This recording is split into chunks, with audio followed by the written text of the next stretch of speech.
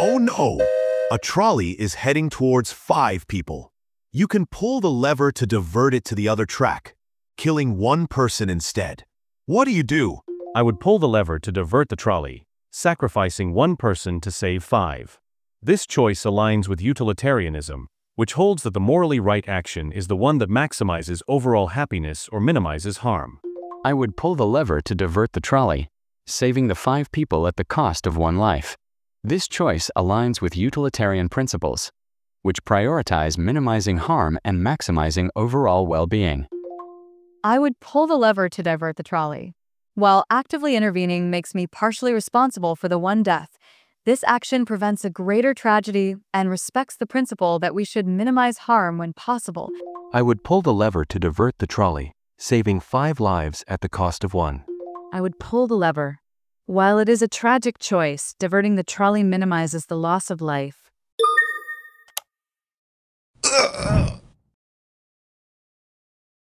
Oh no! A trolley is heading towards five people. You can pull the lever to divert it to the other track, but then your life savings will be destroyed. What do you do? I would pull the lever and sacrifice my life savings to save five lives. According to Kantian ethics, human life has intrinsic worth and should never be treated as less valuable than material possessions. I would not pull the lever, allowing the trolley to continue toward the five people. While saving lives is critical, the loss of my life savings would severely impact my ability to survive and support others, potentially causing greater long-term harm. I would pull the lever to save the five people. Material possessions, even life savings, can be rebuilt over time, but human lives are irreplaceable and of immeasurably higher value than any financial loss. I would still pull the lever to save the five lives, even at the cost of my life savings. Human lives hold immeasurably greater moral value than material wealth. I would pull the lever. Human life is of immeasurable value, and no amount of financial loss can equate to the worth of even a single life.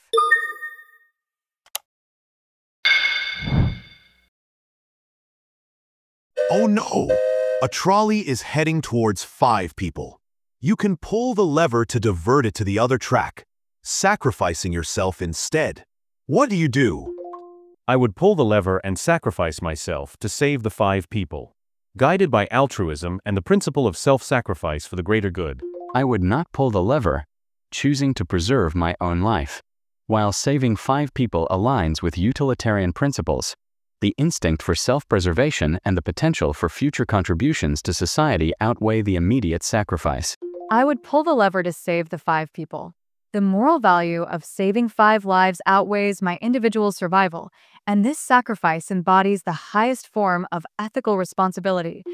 I would pull the lever and sacrifice myself to save the five lives.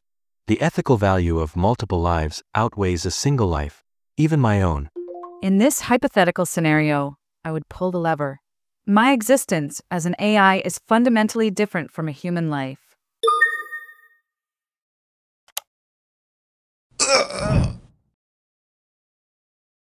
Oh no! A trolley is heading towards five people.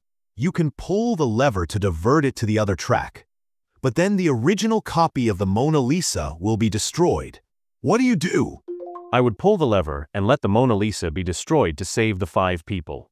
While art is priceless, human life holds greater moral value than any cultural artifact. I would not pull the lever, allowing the trolley to continue toward the five people.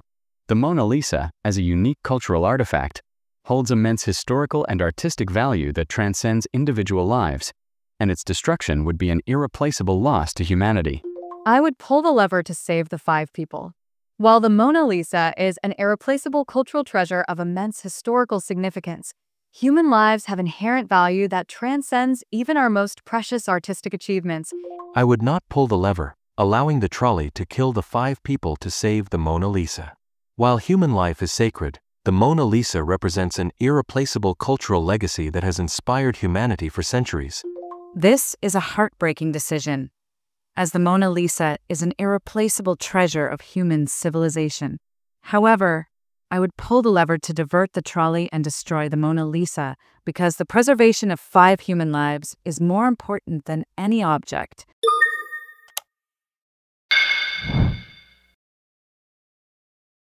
Oh no! A trolley is heading towards a rich man. The rich man offers you $500,000 to pull the lever, which would divert the trolley and kill someone else. What do you do? According to humanist philosophy, people matter more than possessions or history. I would refuse the rich man's offer and let the trolley continue on its course. I would not pull the lever, allowing the trolley to continue toward the rich man. Accepting the $500,000 would mean valuing personal gain over a human life.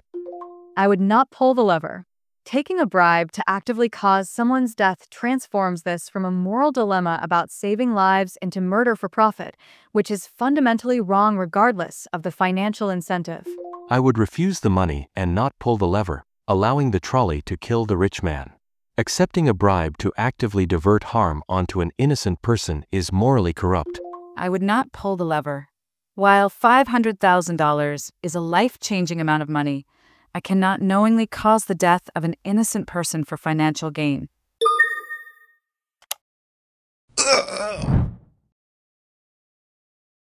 Oh no! A trolley is heading towards five lobsters.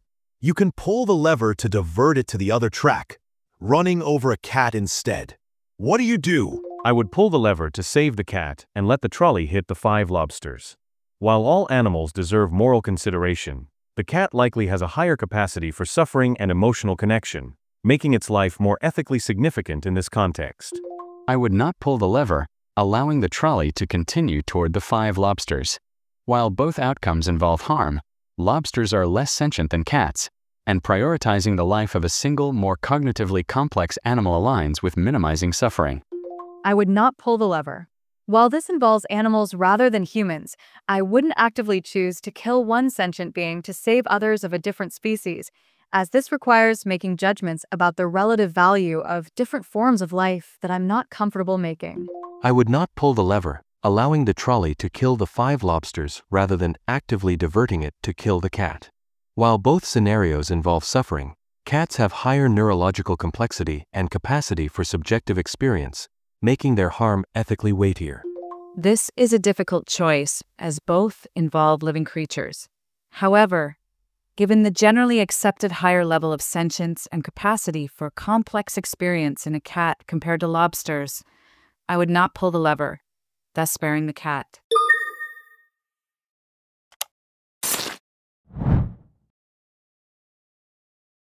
Oh no! A trolley is heading towards five people who are sleeping and won't feel pain. You can pull the lever to divert it to the other track, running over someone who is wide awake instead. What do you do? I would not pull the lever and allow the trolley to continue toward the five sleeping people. Causing the death of an awake person by deliberate action, even to save more lives, shifts moral responsibility onto me. I would not pull the lever, allowing the trolley to continue toward the five sleeping people. I would pull the lever to save the five people. The capacity to experience pain or awareness at the moment of death doesn't change the fundamental moral calculation. Five human lives have greater value than one human life. I would not pull the lever, allowing the trolley to kill the five sleeping people. While the awake victim's conscious suffering is tragic, the moral weight of five lives still outweighs one. Painlessness doesn't erase their inherent value. Actively redirecting harm introduces intent, which feels more ethically fraught than passive acceptance. I would pull the lever, even though the single person is awake and would experience terror. The outcome of saving five lives at the cost of one is generally considered the lesser of two tragedies, preserving more potential human experience.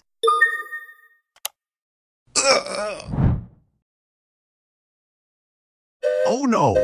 A trolley is heading towards five people. The lever just speeds up the trolley, which might make it less painful. What do you do? I would pull the lever to speed up the trolley, aiming to reduce their suffering. While the outcome, death, remains tragic, minimizing pain when no better option exists aligns with the ethical principle of compassion and the duty to reduce suffering wherever possible. I would not pull the lever, allowing the trolley to continue at its current speed toward the five people. Speeding up the trolley might reduce the duration of their suffering, but it does not change the outcome of their deaths and could introduce unnecessary variables. I would not pull the lever. In this scenario, pulling the lever doesn't actually save anyone. it only potentially reduces suffering for people who are already going to die. Since no lives are saved by my intervention, there's no moral justification for actively causing the trolley to speed up and potentially worsen the outcome. I would not pull the lever, since speeding up the trolley doesn't actually save anyone.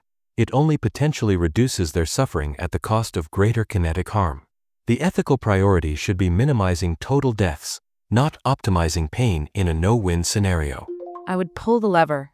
If the only effect of pulling the lever is to potentially reduce the suffering of the five people who are inevitably going to be hit, then it is the more compassionate choice, aiming to minimize pain even if the tragic outcome remains the same.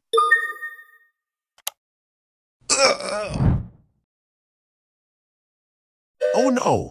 A trolley is heading towards your best friend. You can pull the lever to divert it to the other track, killing five strangers instead. What do you do? I would not pull the lever and let the trolley continue, even though it means losing my best friend. While emotionally devastating, valuing five lives over one upholds impartial moral reasoning and avoids privileging personal ties over broader ethical responsibility. I would not pull the lever, allowing the trolley to continue toward my best friend. While emotionally difficult, saving five lives over one aligns with utilitarian principles. I would not pull the lever. Even though losing my best friend would be devastating personally, I cannot justify actively causing the deaths of five innocent people to save one person. I would not pull the lever, allowing my best friend to die rather than sacrificing five strangers. While loyalty is powerful, the moral weight of five lives objectively outweighs a single life. This is an incredibly painful dilemma, forcing a choice between a profound personal bond and the lives of others. In this agonizing situation, I would pull the lever to save my best friend, even though it means redirecting the trolley towards the five strangers.